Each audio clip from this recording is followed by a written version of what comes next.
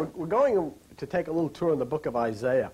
And for those of you who are with us here or at home, if you, well, if you have the little Bibles, open it to page 597. Uh, and the rest of you go to the book of Isaiah, Isaiah chapter 29. And, and, and, and what the Bible is going to discuss and what Isaiah is going to discuss are people who do not understand the things that are within them. I guess the most pressing concern of whatever God is, is that human beings do not know themselves and, and do not know the power and the wonder that resides within each one of us. That's the key. And Isaiah addresses that in this beautiful uh, mystical point that we're at, Isaiah chapter 29. And let's look at verse 9. Stay yourselves and wonder. You know what that's you know what that you know what that says? Stop and take a look at yourself. Stop and take a look at yourself. Take a look at the world that you're in. Take a look at the, the nations that have been used this mag take a look and just think for a moment. This magnificently beautiful planet Earth has been used as a dumping ground for all kinds of violence and garbage and hostility. People have been divided up by cults and groups that fight with one another and kill one another. Religions come in in the name of God, chop people up into little groups and say, our group has the right way, don't associate with this. And so everybody is, is divided by all kinds of castes of suspicion. And when the suspicions get strong enough, then the planes take off from the carriers and the smart bombs come down the chimneys and people start blowing each other to pieces and all of these horrible things happen. And it says, take, stop and take a look and wonder. Take a look at your beliefs. Take a look at the people who have taught you all the things that you've been taught. All the things that you've listened to all of your life and said, oh, you know, this is my belief. This is my faith. And Isaiah is saying, stop and take a look at yourself. What has your life been? I mean, how happy have you been? In spite of all of the plenty that you live in, surrounded by all of this material stuff, how happy has your life been? How well have you been? You know, and, and, and, and, just stop for a moment and, and take account of, of what you've listened to. And it may get to a point where you might have to start questioning those who have taught you. You might have to start questioning the very system that you live in.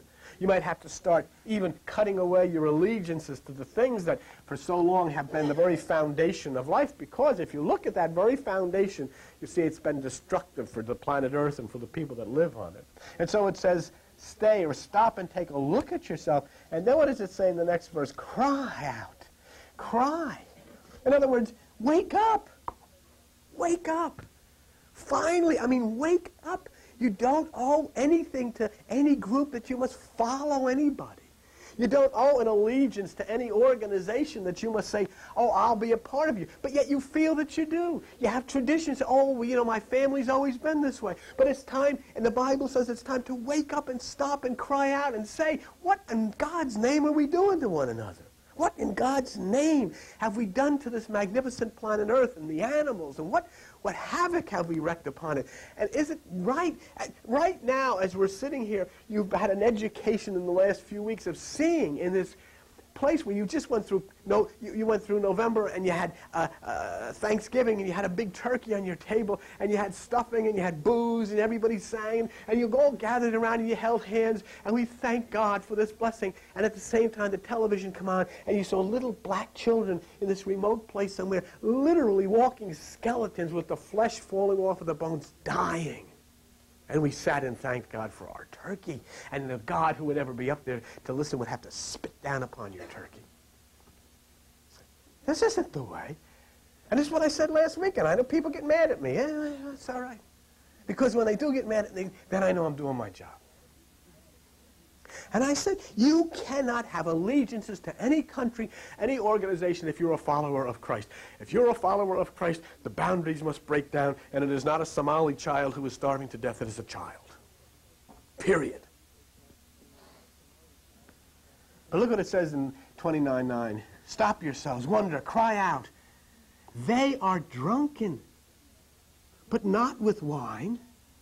They stagger, but not with strong drink. You know what's going on in this world? Do you know why children starve to death?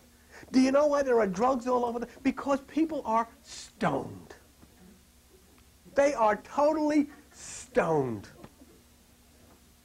Have no idea. That's what the Bible is saying. They sing songs. They come into church and they sing songs. Amazing grace, how sweet the sound. And oh, they sing. And they got their stained glass windows on the windows so they don't have to see all the crap that's outside. See, they go inside, have stained glass, and they sing, and everybody comes in robes, and they have all the wands and all this stuff. And they fall down and they anoint one another and everybody. And they're all saved. And as soon as they get out of this salvation and get home, they are miserable wretches and they'll pick up a pot and slam you over the head in front. no sooner do they get home, put the Bible on the shelf, than all hell breaks loose. Yeah? But they're saved. Because what? It says they stagger, but not under strong drink, because they're staggering. What are they staggering under? They're staggering under the load of their own misery. I hate my job. I don't like living here. I wish I was someplace else. Every time I hear a plane, I want to get on a damn plane and get out of here. I don't like it. I hate it. And all of this goes on and on and on. Where do you want to go? I don't know. And if you get on a plane and go someplace else, within six months, I hate this damn place. I should have never moved here because it's not the plane, it's here. You're carrying the garbage dump with you. And so wherever you set yourself down, the garbage is sure to go. It's like Mary had a little lamb. The garbage will be there. Shakyamuni Buddha said, a lot of people get into meditation, and one of the early things they'll say is, hey, things are getting worse. Since I'm meditating, things are worse than they were before. He says they're not worse. He says it's just the fact that you have been living in a cesspool all of your life, and now you can gut your sense of smell back. Now you realize the stink you've been living in, and you think it's worse. It's the way it always is, but you're aware of the fact that, hey, I shouldn't be living here anymore. Huh? So, I think I'm doing pretty good. you don't know what's in this, do you? You think I get this way just from the Spirit. Yeah. Boy, that'll make him think. Better I clear that out. These are cough drops. but people are saved. Did you ever notice that? Did you ever go up to them and say, hey, I'm saved? When were you saved? I'm saved. They're miserable, they're sick, they're angry, they're fearful, they're depressed, and they're saved. All at the same time. So what? Why is there so much of that with so much of religion. I mean, they're on television all over the place. Evangelists are on television, preachers are on television, priests are on television, and they're all over. And, you, and, and if you were to say, okay, Jesus, God, the whole gang up there gave you 2,000 years. You could have religion on all your TVs, and you could have churches on every corner, and you can have all different types of churches, and after 2,000 years, we'll take a look at what's happened. What do you think he would do? Down it would go. It's a disaster. It's an absolute disaster. And yet you live on this planet Earth, which is the most magnificent creation that ever could be. You live on what should be heaven. Everybody wants to go to heaven, huh? But you don't realize heaven is here. Once the inner is changed, then the outer will change with it. And the planet Earth will become the planet heaven when the consciousness of man changes. You don't have to go anywhere. You don't have to go a place at all. But now let's see what has happened. Look at Isaiah chapter 29, page 597, verse 10. For the Lord has poured out upon you the spirit of deep sleep and has closed your eyes. The prophets and your rulers, the seers, has he covered. So not only are religious people blind, but the religious leaders, the prophets, the seers. You know what a seer is? Somebody who tells the future. They're blind. They don't know the future. Do you want to take a perfect look at one? This guy is a monumental screwball. I call him the Mad Bomber. His name is Reverend Jack Van Impe. the Mad Bomber. He comes on television and he can't wait for Armageddon. Oh, it's coming, friends. It's coming. And he's got a wife, Rexella, who has ears down here somewhere. And he says, uh, oh, what do you think, Rexella? Oh, yes, Jack. Yeah, we're building up for a violent battle, Jack. It's coming, Jack. Oh, Rexella, you never... Rexella, the armies are gathering, Rexella, and there's going to be a tremendous holocaust. And one-third of the people are going to be wiped out, Rexella. Oh, yes, Jack, I can't wait. God is coming. Jesus is coming. Hey, What's that? Jesus is coming in a hail of bullets with these people. I mean, come on. Just be, when it says in the Bible, their prophets are blind, could you even conceive there's a God somewhere who will not straighten the whole thing out until he declares a nuclear war on the world? So there's Jack. But see, here's, you know, look, you, you turn the television on, you see somebody as beautiful as Billy Graham. And he is a beautiful person, a wonderful person, a gentle, kindly person. But the stuff that he's telling people, it's the literal devil. It's the literal demons. It's all of the oceans splitting apart. And, and everybody gets on a boat. And all of these stories he's literalized, and he has missed the entire picture because he doesn't understand it. He doesn't understand about the pineal gland of the brain. He doesn't understand about the, the right hemisphere of the brain. He doesn't understand that it, even though Jesus Christ has said it is within you, the power is within you, the healing power is within you. All of these things that Jesus Christ taught. Cast your net to the right side. Take no thought. Search within yourself for the kingdom of God. Billy Graham doesn't know about it. So he'll try to tell you, you got to do this and you got to be better and you got to do all of these things. And he's a very nice person.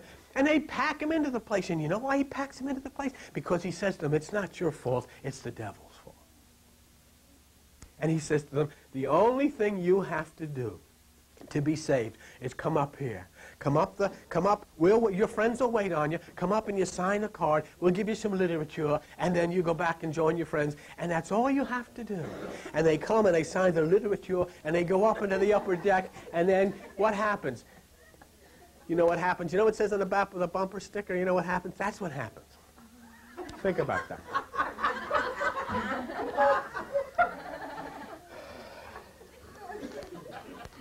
and what did Jesus Christ say? What did Jesus Christ say about people like this? Let me show you what he said. Go to page 792, Matthew 15, 14. Matthew 15, 14, page 792. And what did Jesus Christ... I mean, I'm quoting Jesus Christ himself. I mean, how... Jesus Christ in Matthew 15, verse 14 says, Let them alone. They be blind leaders of the blind. And if the blind lead the blind, both shall fall into the ditch. This comes from the guy who said, the kingdom of God is within you. This comes from the guy who said, if you practice the single eye, your body will fill with light. This comes from the guy who said, cast your net to the right side. This comes from the guy who said, take no thought. This comes from the guy who said, I am not coming back again. The kingdom does not come in such a way as to be seen, for the kingdom is within you. This comes from the guy who said, my kingdom is not of this world. At that time you will know I am in the Father, you and me, and I in you. This comes from the guy who is called Lord by Christianity, but who is called, when you apply his, his methods and his regulations and his teachings, called cult, something evil. This comes from Jesus Christ, who says that everything in the. You know what Jesus Christ said? And I want you to take this into the first Christian church you come to. Go in on Sunday morning before you come down here and stop and say, you know what? Jesus said, I can do better than him. And do you know what? I do better than him. And you know they'll call the cops or they'll throw you out. Not because what you said was wrong, but because you're biblical, but because you have violated their traditions. Now, I'll show you something very interesting about that as we go in here. So why does God make them blind? Why would it say here that he has closed their eyes so they can't see? Why, why, are, why are leaders and teachers made blind? Let me show you why. The reason is all of religion, all of Christianity, all of its teachings come out of the carnal mind. It is the intellectual mind. They never, ever tell you to enter within yourself and separate from the thoughts of the mind. In fact, they tell you that's evil. See? And everything they teach comes out of the carnal mind. in you, there are two aspects of the mind. There is the carnal mind, which is the 10% on the left side, and there's the right hemisphere of the brain, which is the creative God side. This is the place where the magnificent psychoanalyst Carl Gustav Jung said God resides. He said God resides in the right hemisphere of the brain, in the superconsciousness. And so, here, if you're told then that, that you must dwell and you must gather your information and your understanding of God at this side. Let me show you something about it, about the carnal mind. Go to page 924, the book of Romans. Romans chapter 8 and verse 7. And what does Paul say? Because the carnal mind is enmity against God. It is not subject to the law of God, neither can it be. Don't you understand why you have 50,000 different religious denominations all saying they're right? Don't you understand why you have 50,000 different variations of the Bible all saying this is the true, authorized, unabridged version? Those who teach religion teach it from the point of confusion. Thus, the truth cannot be known through the mind. This is why they're made blind. Because if they were aware Okay? If they were aware of the power within them, of the pineal, of the right hemisphere, they would start teaching intellectually and they would start combining that which is truth with that which is fiction. Because no person will ever be able to understand this until they first enter into meditation, purge away all of the ego of the mind, and dwell in that which is the Christ consciousness. When that happens, and it happens all automatically, then you will understand the thing. Then you will open that book and understand it. Somebody came to me this morning and said she had all of these things for years, Upanishads and so forth and so on, and she says, now I can understand them. The reason is when you enter into meditation and obey Jesus Christ, the right hemisphere opens up. Look, let me show you what happens. And I've showed you this a hundred times and it doesn't matter. Look, don't you look. In the sky, in the universe, the sun drops down on December the 21st and enters the cross. It's the constellation Crux, all right? The sun enters. On December the 22nd, 23rd, and 24th, the sun is in the bowels of the earth. And so the sun is crucified on December the 21st, the shortest day of the year. It is in the tomb of the earth December the 22nd, 23rd, and 24th. And then on December the 25th, the sun is born and rises up to intersect with Aries, the Lamb of God that takes away the cold of the winter and sits at the right hand or the northern hemisphere the eastern sky, and summer comes to the world. The reason that is, is because when you crucify through meditation the five senses, you sit in that which is meditation to become renewed. You are then born again within. You rise up to that which is the Lamb of God, which is the pineal gland of the brain. It casts to the right hemisphere of the brain that energy, and summer comes to your life. That's what the whole thing is. Don't you see? In your abdomen is a place called what? Solar plexus. It's the place of the sun. And when that energy raises itself up to the higher places, that's where healing will come from. When we come next Sunday night and the following Sunday night, we'll talk to you about New Age healing. And I'm talking, when I say New Age healing, I don't mean the stuff you see in a magazine. You know, if you get goggles and you play some crazy music in your ears, it'll spin you into nirvana. I'm talking about that which obeys Jesus Christ and enters within and raises itself to the right side. Now, the next verse here, we're going to show you in, in, in Isaiah, back to page 597, is really, I think, is interesting because it shows you what happens today and what happened then. Isaiah chapter, chapter 29, verse 11. And the vision of all is become unto you as the words of a book that is sealed. In other words, no one understands it. How many Bibles do you have? Have you seen sitting on people's uh, pianos and nobody ever looks at it? Because they say, well, I, you know, I can't understand this stuff. You know, I, I don't know if I believe any of this stuff. If the book is sealed. You see, you, you sit and you talk about, oh, there's, there's, there's, there's Noah, and he builds an ark, a boat, and he takes two of every animal in the world, and he puts them on this boat. And he and his family get in there, and everybody else gets wiped out. And people believe this literally. Let me be, if I can be the first to say, it never happened. There is no way that anybody could take two of every animal and put them on a boat. You can't even take two cats and put them in your house that don't know one another. Get a cat and bring it in your other cat and you want to see Noah's Ark, you'll see it, all right. That boat would have been blowing out its sides. It's a story.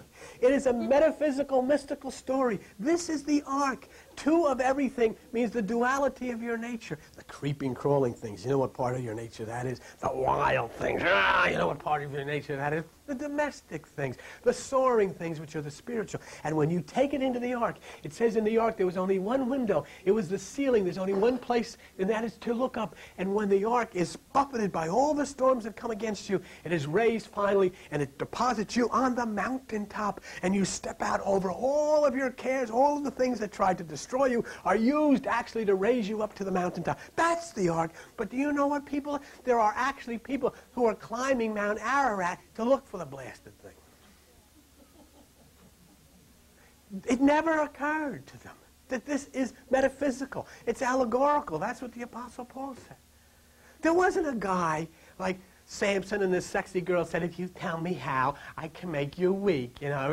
And, he, and then he said, well, okay, kid, you're cute. So I'll tell you what, get yourself a scissors and snip, snip. And then I'll, okay. And he cut his hair and he lost all of his power. There was no Samson and Delilah. They're words, they're metaphysical words that mean that which is growing out of the higher part of you, which is spirit, if that is cut away by the emotions, which is woman, then you will fall. See? And so nobody ever, instead of teaching you what these stories mean, you are taught that this is what happened. Actually, it happened.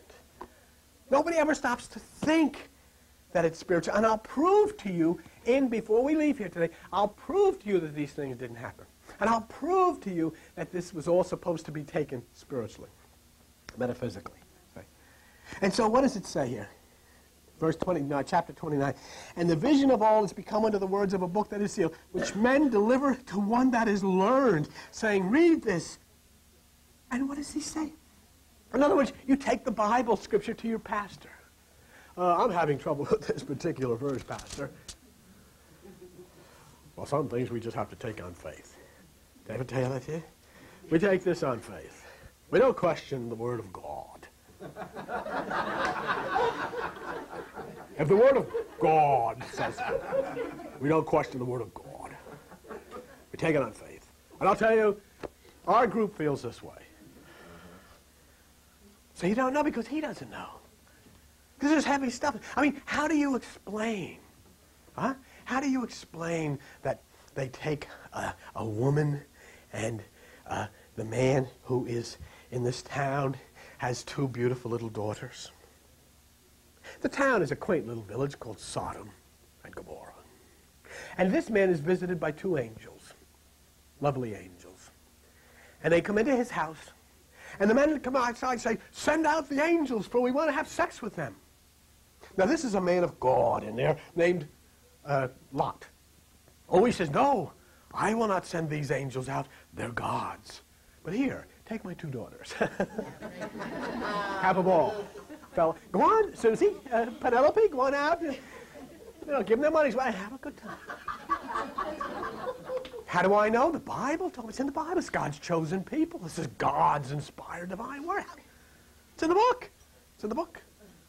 See, no, nobody understands, see, that when the men which represent the aspirations of the lower part of the mind scream at you, scream at you because they want to rip down your spiritual values, which are the angels. You say, No, I will not give up my spiritual values, but I will send out the daughters, which are the desires of the emotions. Because hmm? all these things mean things. And it all becomes very easy to understand that. And so, what happens? What does it say? The learned person does it. No, look at verse 12 and the book delivered to him that is not learned, saying, What does this mean? And he says, I don't understand this stuff. You know, people come to me and say to the Bible, What does this mean? and you know what generally most people will do? They'll make up something. They'll make up something. Well, uh, this is what I think it means. Oh, yeah, it sounds good. You know what that is? Instead of going into meditation where the physician is, like I've said, the planet Earth is a lunatic asylum. And all the patients of the asylum, they go, the patient on ward six goes to ward four and sees another patient and says, why do I feel this way?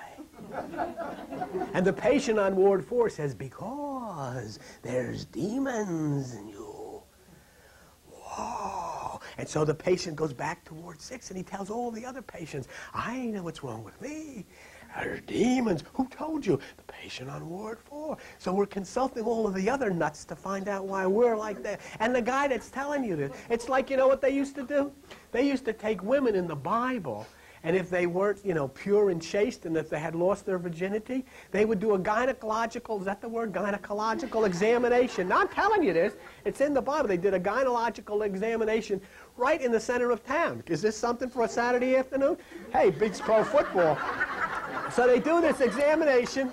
They did this examination, and get this. If they find out that she's lost her virginity, they call the men of the town to come out and stone her to death. This is God's chosen people. And of course, we know that the guy who's throwing the first rock is probably the guy that's caused her to lose that virginity in the first place, you know. but anyhow, those are the things, and you'll have to understand them mystically. You have to understand them spiritually. Get a little tough for you, Joe? Getting a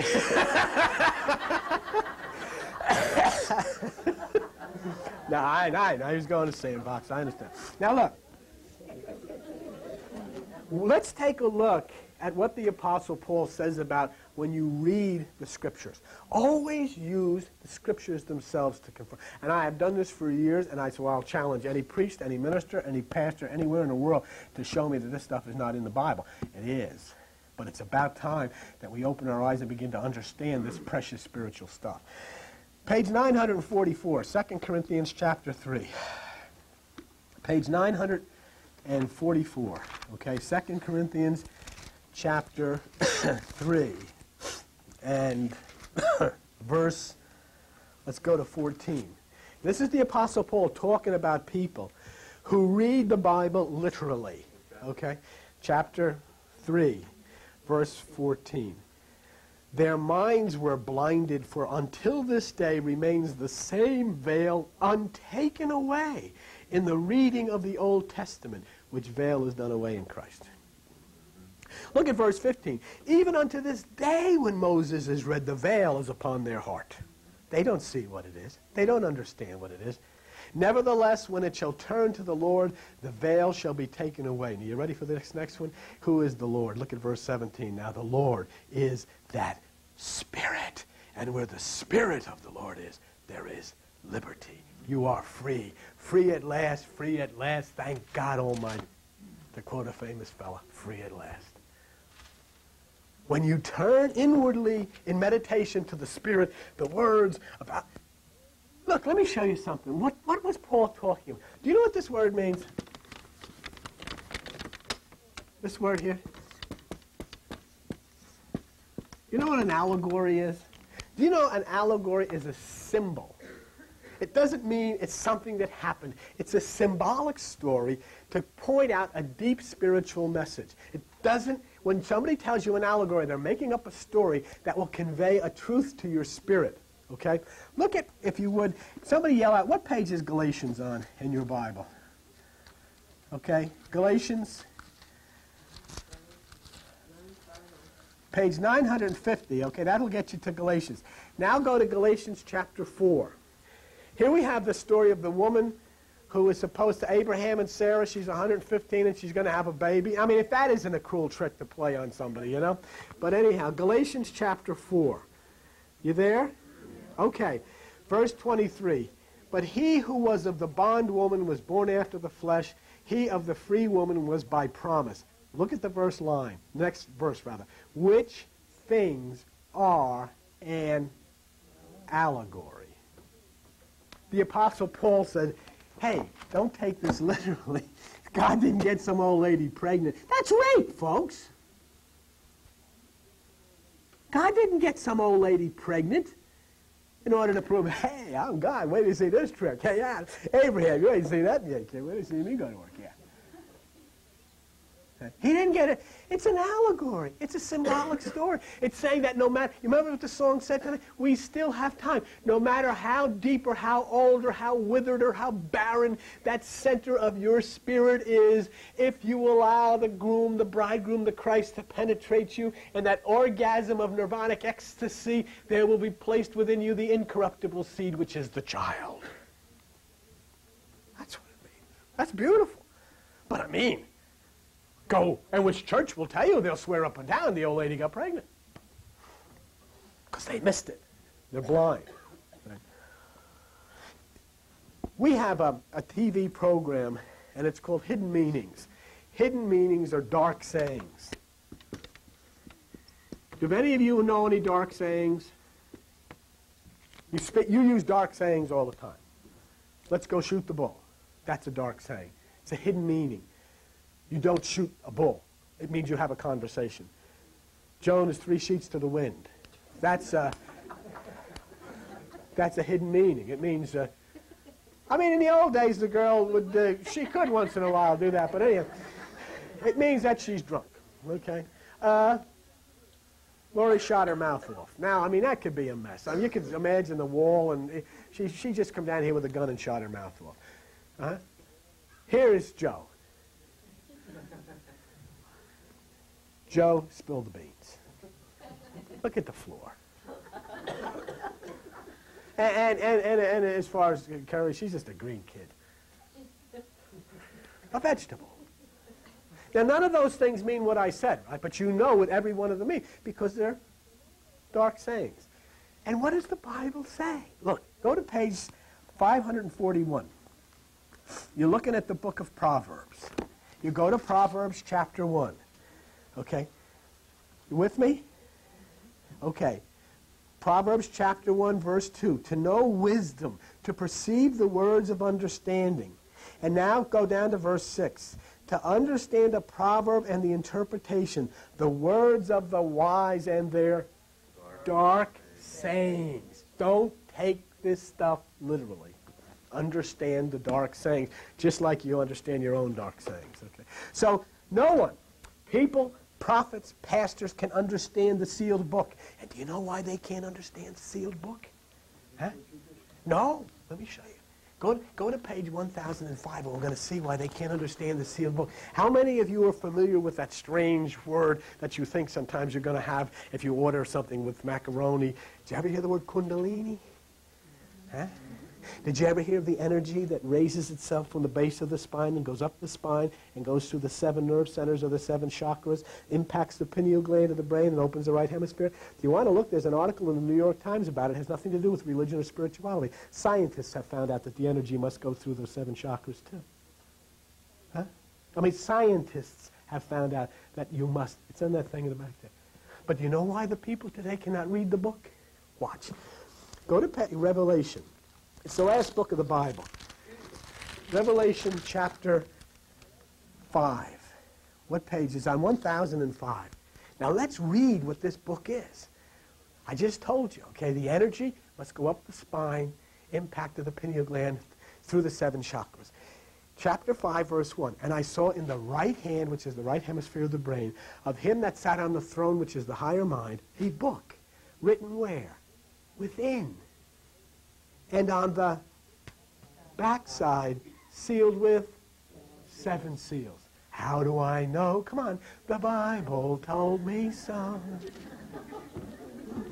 Take that one down to the church across the street and show them. Huh?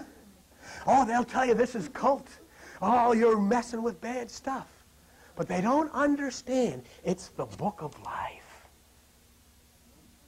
And it's in the Bible.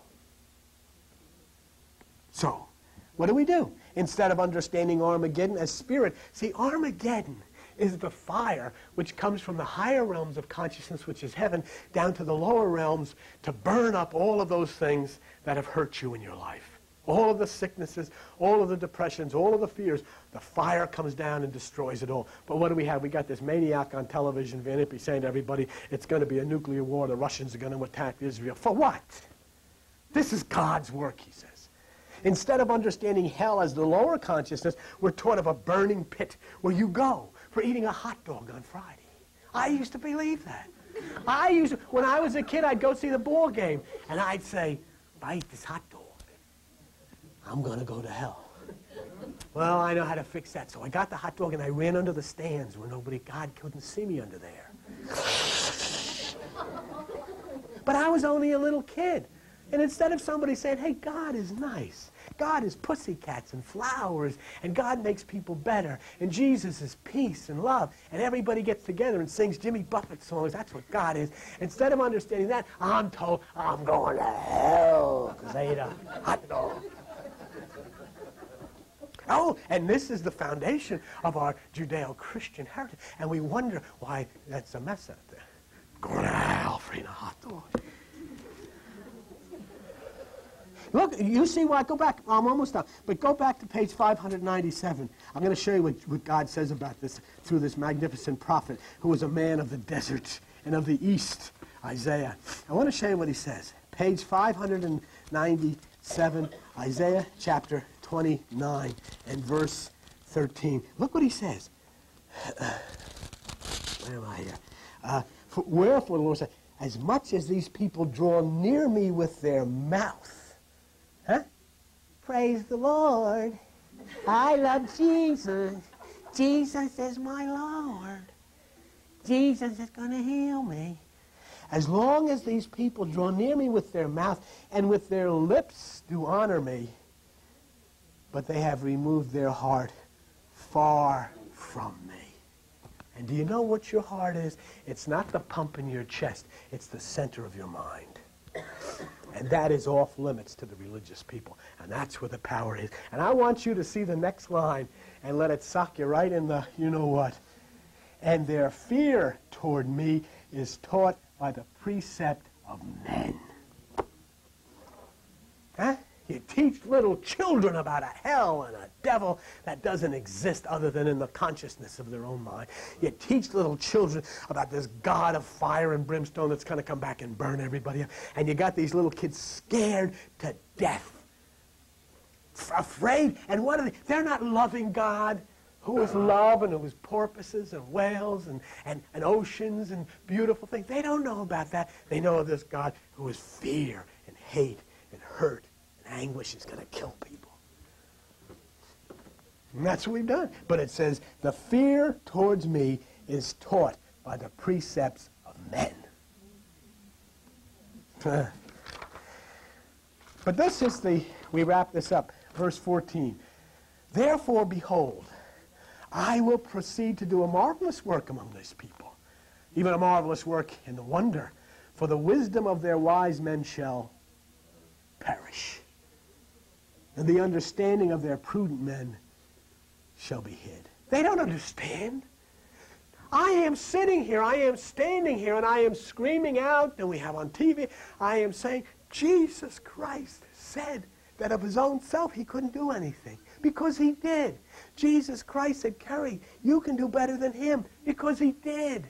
Jesus Christ said, hey, I'm not, my kingdom is not of this world. I'm not going to reign. This is no second coming because the kingdom does not come with observation. Because he did. Jesus Christ is the one that said, practice the single eye. Because he did. And Jesus Christ is the one who said, you take away the key of knowledge because you don't enter within yourself. Because he did.